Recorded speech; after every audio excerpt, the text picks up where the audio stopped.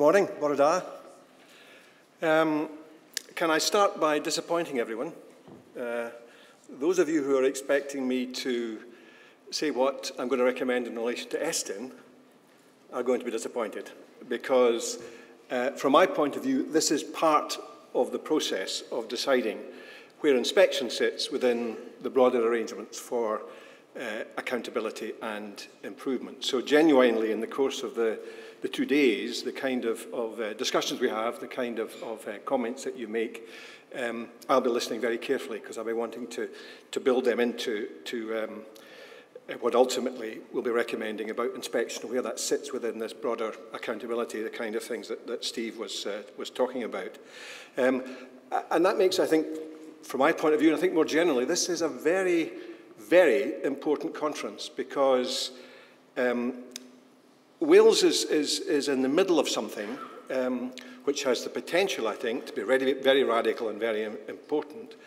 Uh, but if we don't get the accountability bit right, uh, then the likelihood is that what we'll have is a system that's fighting with itself, that is trying to go in one direction but is being pulled in another direction. So getting this whole area of accountability and, and the role of inspection within that right is incredibly important.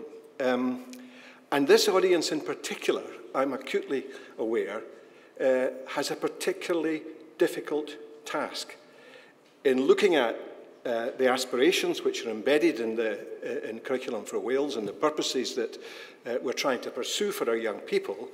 Um, uh, but you have very particular pressures on you, um, not least in terms of the examination and qualification system. And that's not simply because um, you may have performance measures about how well is the school doing in relation to those, but of course, your responsibility is to the young people that you have, and they should do as well as possible uh, in those qualifications. So, quite naturally, the people in this room uh, will have to be convinced that the relationship between accountability, the relationship which that has to qualifications, and the relationship that has to your responsibilities to those young people in terms of those qualifications, that that all comes together in a way that is actually going to be uh, in the best interests of those uh, young people. So um, what, I, what I hope that will come out of the two days is something which is very forward-looking. We're not, we're not going to analyse or or pour over uh, the inadequacies of, of perceived inadequacies of what's happening at the moment, but very much try to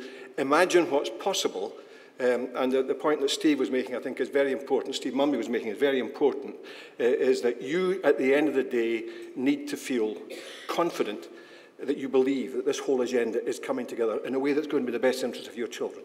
Uh, and the, the whole approach that's being taken in Wales, the, the, the so-called co-construction, um, has to be more than lip service. It has to be a, a, a process which allows you to shape and therefore to own and have confidence in whatever comes out at the other uh, uh, end of the, of, the, of the process. When we think about accountability uh, and think about the nature of the accountability which we currently have, um, uh, across the UK, and actually the UK is relatively unusual internationally in terms of its approach to accountability. It's not something which is, is uh, characteristic of, of, uh, country, of European countries and, and, uh, and beyond. And even in UK terms, um, we're really only talking about a kind of view of accountability which date, dates back to um, the mid-1970s, point at which um, politicians in the UK lost faith in the teaching profession. Uh, the, the, the famous Jim Callaghan made a, a speech in Ruskin College in 1976, where essentially what he said is, um, we don't think, and representing the public, we don't think the schools are actually serving our children as well as they should do, and we as politicians are going to get much more involved in, in, in shaping the experience that our young people have and make our, articulate our expectations about what schools will do in a much more explicit way than has been the case hitherto. And from that speech by a Labour Prime Minister in 1976, followed shortly afterwards um, by Margaret Thatcher and the, the Conservative government in the, in the 1980s and into the 1990s, um, uh, that then gave rise to uh, an approach to accountability that was increasingly reflecting that lack of faith in the teaching profession, that lack of faith that left to its own devices, teachers will do a good job by their children. That's why we are where we are today, uh, because it, it traces back to that point. And uh, the first inspection reports were published in 1983. Prior to 1983, inspection was largely about policy and advice. It wasn't about school accountability, certainly not individual school accountability. It was largely a, a process that was designed to inform uh, the political and policy debate and to provide advice to schools of a more general nature. But from 1983 onwards, increasingly, and in 1992 with the creation of, of uh, Ofsted and Estyn, the, the nature of inspection then became very different from the way it had been uh, hitherto. So when we're thinking about uh, what a new accountability uh, and inspection um, regime might look like, we've got to recognise that simply saying there was a golden age, you know, back prior to the 1970s, which we just need to return to, is not an option because that is going to, the danger is that recreates the kind of confidence issues which were around then. So what we need to do as a, as a, as a profession uh, is to convince politicians and the public more generally um, that we will shape an accountability system which can give them confidence that the, the, the, the young people of Wales are being well served and the young people of Wales are going to achieve uh, in relation to the four purposes of the national curriculum as well as we collectively can possibly um, uh, help them to do so. The problem is, for all of us, is that we're in a situation where the challenge facing education, if you look across the world, this is the case, the challenge facing education has never been more difficult. Knowing what the right thing to do, the right thing to do for our children, it's never been more difficult. what I talked about in terms of the growth of accountability mechanisms took place in the context of an increasing acceptance uh, particularly from, from 1988 onwards with the creation of the national curriculum, that we know what the curriculum should look like. We know what schools are for. Schools are for delivering the curriculum that was created in 1988. And therefore, we need an accountability system that makes sure that that uh, is what is actually happening in our schools. And you, and you, you, you uh, create structures around about that that try to make sure that's, uh, that's going to happen. The problem now is that the nature of uh, the world that our young people uh, uh, are, we are all living in, and our young people will live their lives in as they move into adulthood and, and uh, right throughout the entirety of this century and beyond, uh, we can't even begin to anticipate the nature of that world.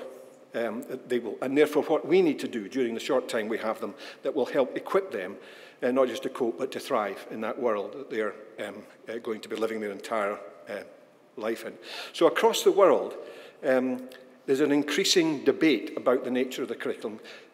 Universities gave up curriculum studies for about 15 years. It's quite hard to find anyone inside a university who actually specialises in the curriculum, because from 1988 onwards, that wasn't an issue. Um, but it is now. It really is now. What is it that we can best do in order to ensure that our young people are uh, uh, getting the kind of experience during their time at school which is going to help them to thrive as they move forward throughout their lives? Um, and it's interesting that the nature of the way in which that worldwide debate is going, there, there are patterns emerging um, which suggest that the kind of things that we're doing here in Wales puts Wales right in the vanguard of current thinking about the, the best way in which we can serve our young people in the future.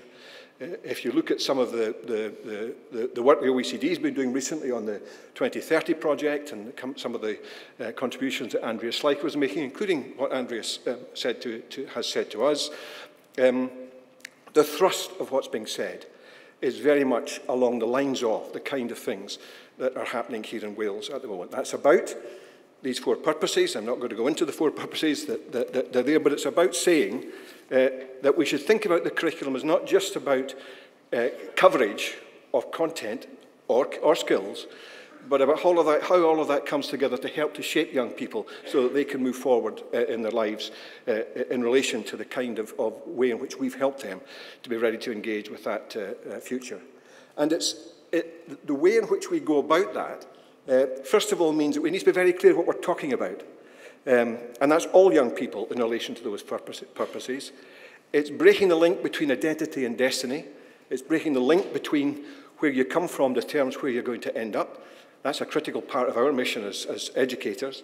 It's about raising standards, but it's about defining standards in a way that is not simply a narrow definition of what standards are. It means that the young people are getting the best learning possible uh, and that they themselves are developing in relation to that learning. Their own learning is developing to the highest uh, standard that they can arise. So we need a debate about standards so that standards don't become reductionist and therefore drive uh, um, behaviours which are also reductionist. We need to get that progressive line of sight, so the relatively short time that we have young people in school, looking from when they, when they enter uh, uh, at three, four, or five, whenever they come into the, the broad education system to the point at which they leave. We've got a clear line of sight in terms of progression, in terms of their learning, in relation to those four purposes. Um, we need to ensure that young people, that, that their experience of school gives them an intrinsic satisfaction in learning. An intrinsic satisfaction in learning. That learning gives you a buzz. Learning is worthwhile. Learning is something you can enjoy. Learning is not simply something you do in order to pass a test or pass an exam.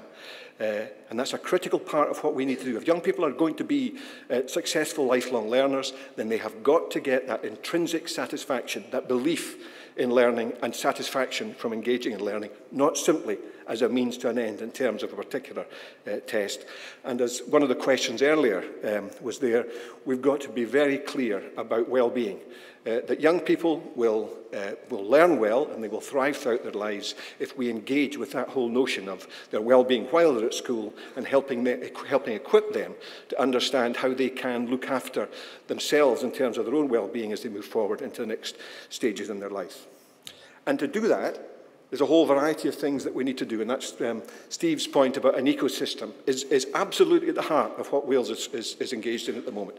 Uh, it's not just simply picking a bit of reform and saying we'll do that and the rest will have to just fit in. It's genuinely looking at the, at the, the whole nature of, of the education uh, system as an ecosystem where all the parts interact and you change one bit and it affects something else. You've got to be able to think about that. Um, so we've got to focus on what matters. Uh, We've got to reconcile, and this is something that's come through, we've got to recognize what matters, what works, and what's possible. And if there's one justification for co-construction, that's it. Because you're in the best position to reconcile what matters, what works, and what's possible. Uh, it's not simply a matter of what's possible, Uh, we've got to be very clear about our ambition, about what matters. We've got to draw on experience from elsewhere in terms of what... I, actually, I'm not allowed in the phrase what works. It's what might work. Uh, it, there isn't any absolute thing you can just lift from somewhere else and that'll work. It's a process of learning about uh, how, how, how, how things have been addressed and the way in which they, they can help us to understand how we can best engage with, with young people. Um, that whole notion of enthusiastic engagement, Uh, the word capacity has been used a lot in the course this morning. It is absolutely uh, uh, uh, critical. The confidence and capacity of those who are engaging with our um, uh, young people, um, using evidence in ways that, that uh, uh, uh, support and challenge uh, our assumptions, cozy assumptions. I mean, actually, partly that's what was, was, was the, the, what, what happened back in the 1970s when politicians lost faith in us, because they thought we all shared, there was a kind of professional conspiracy, they even used the phrase professional conspiracy, uh, that was designed to keep the public out. They talked about the secret garden, secret garden of the curriculum, something which is, not, which is all about professionals, everybody else uh, keep out. There's a, there was an education minister back in the 1960s whose name I think was Tomlinson, who proudly said, he was, he was from Yorkshire, so forgive the, forgive the North Country attempt at an accent, Minister knows nought about curriculum. Proudly said that. Minister knows nought about curriculum. Not my job. That's your job. That's the professional's job. And then they began to say, well, actually, this is not enough. We're all engaged in thinking about the nature of the, of the curriculum. So what does that mean uh, in terms of uh, assessment, accountability, and uh, inspection? What does it mean in terms of what we should look for in terms of the kind of, of, of approach to this area, which is going to um, uh, work with all that we're trying to do, not work against, not sit in judgment on, but actually help us uh, as part of the process of doing the kind of things that, that we believe are the right things to do. Um, the first one is we've got to get a, an approach whereby the information we get from uh, uh, accountability, the evidence that we're getting uh, from that, um, is timely. It's, it's not telling us what was the case. It's giving us information that allows us, helps us to engage with, with the, looking forward into the future. So there's something about accountability systems that are often backward looking. They tell you what was the case in the past, and therefore you've got a leap of faith that because it was like that, it's like that now, and therefore it's going to be like that in the future. So there's, there's an issue about the timeliness, the immediacy of, of uh, uh, the evidence we get from um, uh, accountability. And I think we need to reframe the debate. We need to reframe the language that we use around accountability. I prefer us to use the language of learning uh, rather than the language of judgment. So the, what the accountability system is about is helping us all to learn better uh, how to improve, enhance the learning of our young people. So the accountability system is about learning. Uh, it's not about simply about judging or putting a label on whatever it is that's, uh, that's, uh, that's happening. It's got to focus on what really matters. Uh, and in, in our context, that's about the whole, the four curriculum purposes and the way in which that's actually taking shape and being given life in, in, uh, in our schools. Um, the accountability system has got to um, not be something that is alien, uh, not a done to process, but a done with process. One that, that, that genuinely uh, uh, empowers uh, uh, the young people themselves, but also those, the, the teachers, schools, and the system more generally, um, to pursue the best routes towards those curriculum purposes. Uh, it's somebody on the outside um, doesn't have the right answer, which you've just got to try and arrive at somehow or other in order to satisfy that accountability mechanism. The right answer is the answer that we collectively uh, arrive at. I think that was a, that was a theme that uh, Steve Munby was, uh, was talking about. Uh, we've got to get the consistency right uh, so that uh, uh, the, the, the alignment between all the various external uh, pressure there are on a school, whether that comes from uh, consortia, whether that comes from Welsh Government, whether that comes from Eston, uh, there's a consistency and alignment across all of those. So schools are not trying to work out at any particular point in time which master they're trying to serve, who they're trying to please in order to satisfy uh, accountability. But of course, of course, accountability has also got to give assurance. Uh, it's got to give assurance, the whole question of public confidence. The public has to have confidence that we uh, that they can they can safely leave their children in our charge and left in our charge their children will do well be well looked after we'll be conscious of their well-being but we'll also build them in relation to the kind of purposes that we're talking about. So they need assurance that that's actually happening at the individual level at the school level at the at the at the, the uh, authority and consortium level and also at the at the level of the um, system as a whole Uh, and there are a number of uh, issues which I just want to pick out, uh, which uh, I think, and I'm, I'm, uh, I'm thinking about these in the context of, of, of the uh, work I'm doing now around uh, Estyn, um, there's a number of things that we've got to think about in terms of what, how do we avoid some of the perverse effects that have been around in the past, uh, not, not necessarily, uh, in, particularly in Wales, but are, are generally a function of, of, of uh, high stakes accountability systems. Uh, and the first one is something which um, relates back to, to work that was, was done back in the, in the uh, 1970s uh, by Donald Campbell. Um, and essentially, what that says is that, um, if, I, if I simplify it, that if you have a single, if you reduce accountability to a number, if you reduce it to one judgment, um, then the, the consequences of that are that A, people will, will try to, to arrive at that number, or, or, or judgment or label, and sometimes that means they'll do things that you don't want them to do. Um, also, the tendency is for the measure itself to become inflated. People find ways of making it look better than it actually is. So, so it's not helping learning, it's actually doing the reverse, because it's masking the kind of things that really need to happen to make things better in order to look better. Uh, not to be better. And that's, that's one of the can be one of the consequences if you have an oversimplistic reduction of the, of the process.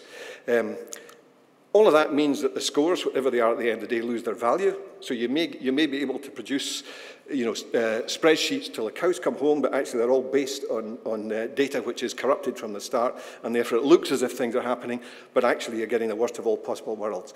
That the, the, the corrupted data, the data is not helping learning inside the school, nor is it giving an accurate picture of what's happening more generally inside, uh, inside the system as a, as a whole.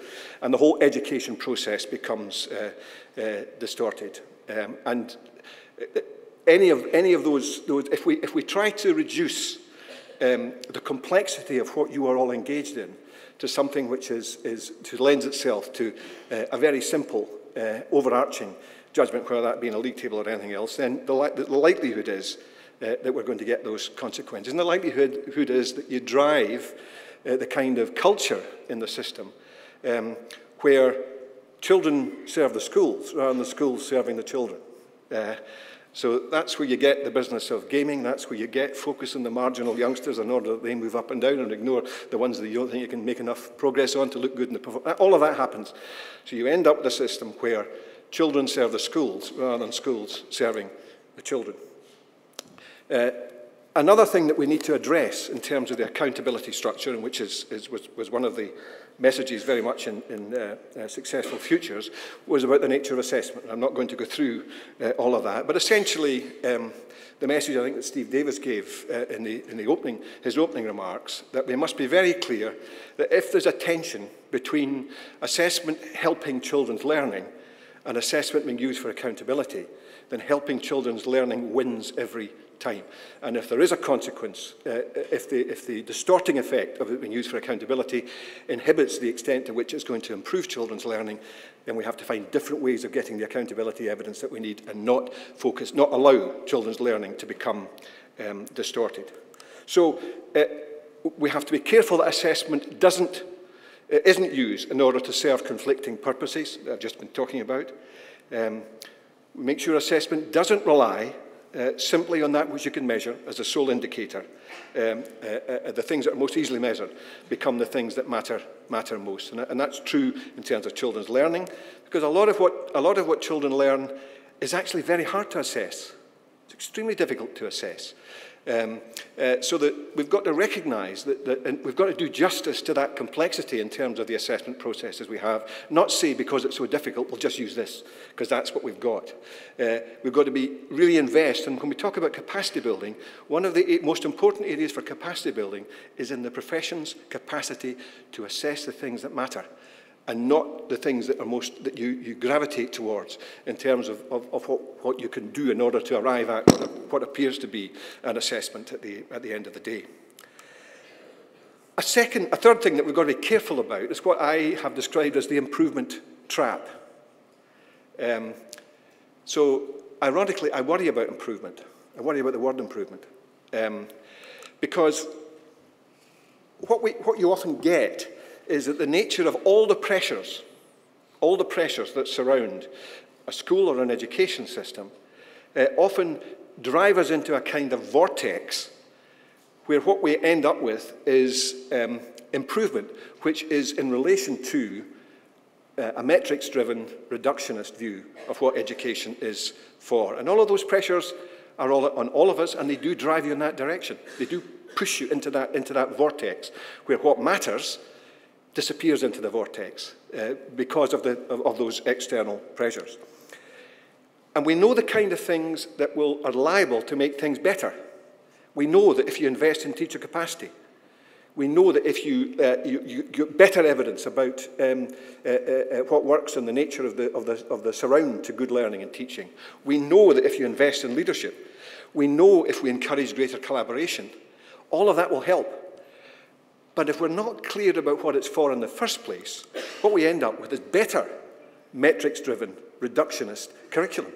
That all we do is get better and better at doing things that are less and less relevant.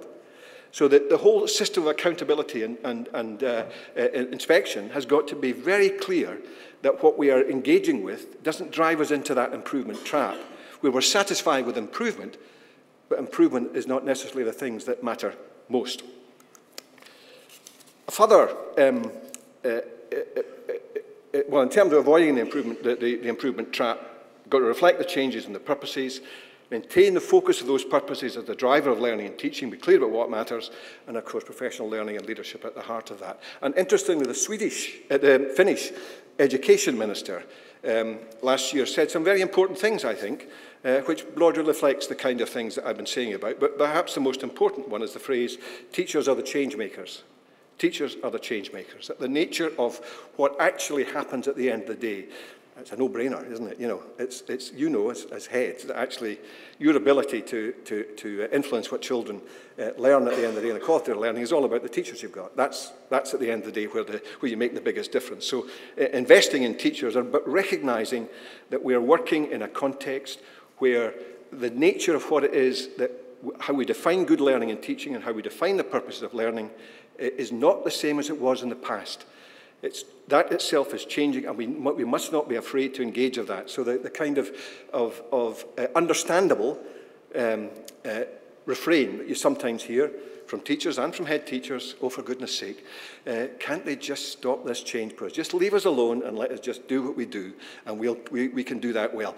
That's very understandable, but it's not good enough because the context that we operate within means that you, the profession, has got to take control, much greater control, of making sure that we're doing the right things, not just being left to do the things that we've done uh, uh, uh better and, and better.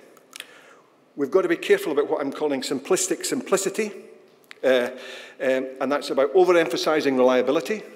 Uh, because one of the ways in which you arrive at highly reliable accountability mechanisms is to reduce what you look at to something that's easily measurable. So you just reduce it all and you get something which is nice and simple, but actually the day as being simplistic. It doesn't do justice to the breadth of the curriculum purposes.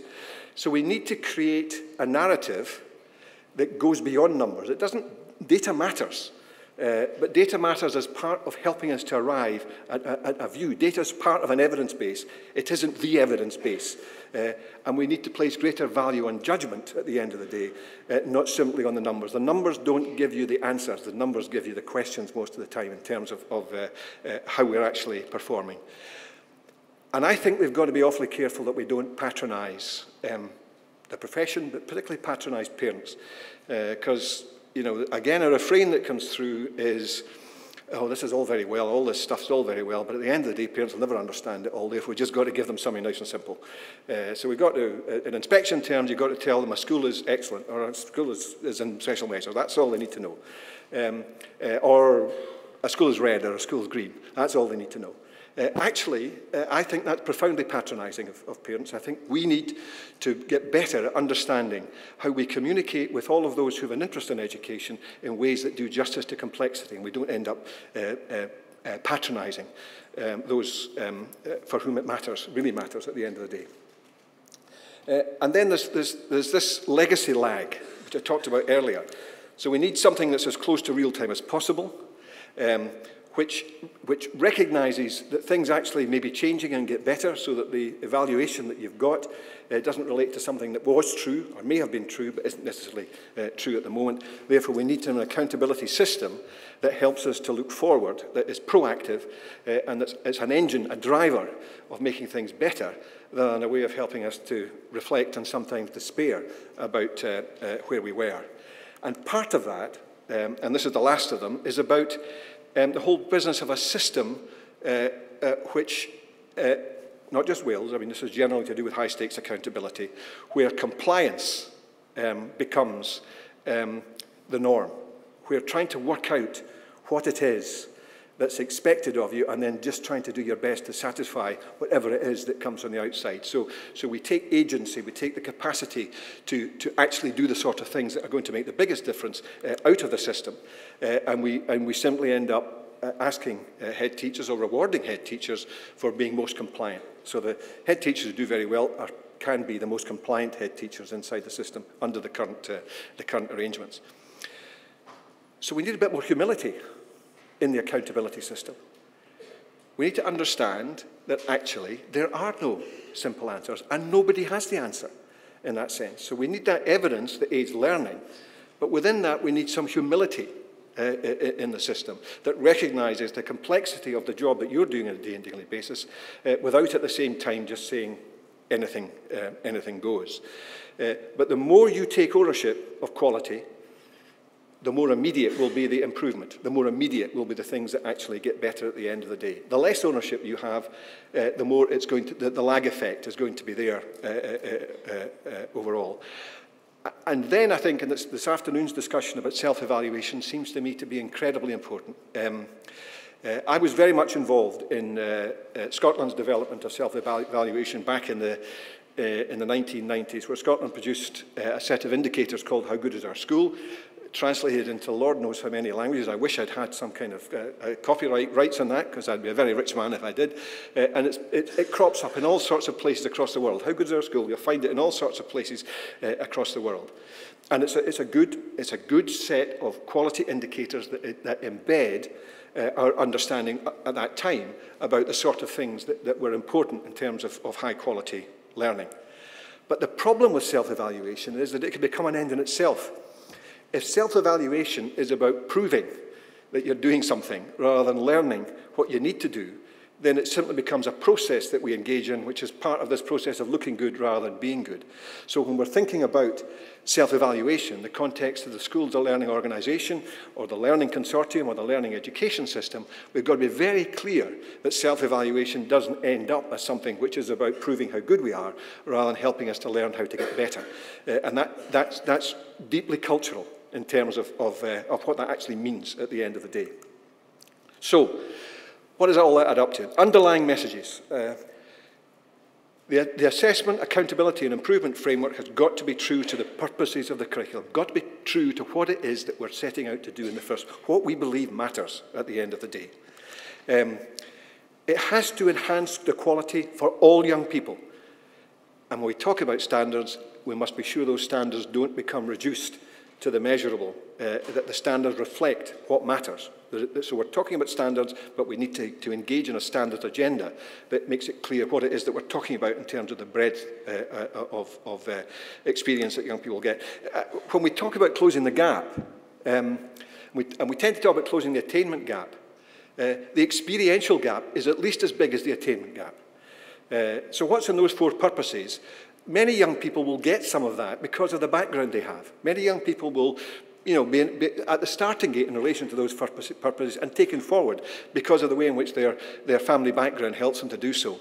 Um, the schools are, are, for many young people, though, the only place where that experiential gap will be bridged. The only place where we'll be able to take young people forward who, whose, whose circumstances, whose identity is actually going to shape their, uh, shape their future. So that whole business about, about, about uh, standards is, is, uh, is critical. We must be careful that an accountability system doesn't disempower. Uh, accountability system that it, it is a done with. You feel part of it, you own it, you see the point of it. Sometimes it may come up with uncomfortable conclusions, but nonetheless, it's, it's uncomfortable conclusions that you recognize that if they are uncomfortable, they probably should be uncomfortable because, because you have engaged in the process by which we, um, we arrive at that. Um, we need uh, an assessment process, to use the kind of, of, of uh, uh, shorthand uh, that enables doesn't label. Uh, and that's, that's assessment for learning. But of course, what we need is accountability for learning too. Accountability that enables doesn't just simply uh, label. We need to value qualitative judgments. We need to value the professional judgment of teachers. Um, it, so it's not simply those things that come out of the uh, measurable process that actually uh, are the things that, that should be given greatest weight. Uh, that the qualitative judgment, the nature of the way in which teachers are evaluating and engaging and assessing young people's learning, we need to place uh, greater uh, uh, value by professionals and also of the learning. Um, and we need to have that pervading the entire educational and wider political community. This whole process, when we're thinking about accountability, has got to be something which is not only owned by the profession, but is actually owned by the, the broader community in Wales, and particularly the political community in Wales. Go back to that business of public confidence.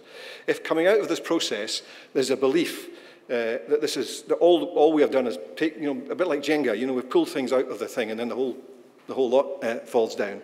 All we're doing is taking things out um, then, we'll, then we'll, we'll have no confidence that actually what we're doing. What we need to do, what you need to do, what the profession needs to do, is to persuade the politicians, persuade the community more generally, that the kind of accountability we're talking about will actually lead to better learning for the young people. It will give them the kind of information uh, they need, the right information, but about better learning uh, for young people. And all of that means it's uncomfortable. It's uncomfortable because we need to be willing to examine established beliefs and habits. One of the things that's been said to me many times over the course of, of uh, the curriculum um, uh, review is that we have a teaching profession that has been conditioned to comply and deliver. Uh, Uh, and part of the challenge, the leadership challenge in Wales just now, and that's both for leaders themselves, terms of their own beliefs and habits, but also for how they communicate that to their staff, that those beliefs and habits, which are about compliance and delivery, we've got to challenge those beliefs and give people the confidence and the capacity to engage with the kind of agenda we're talking about. That's particularly difficult in secondary schools, and I know that.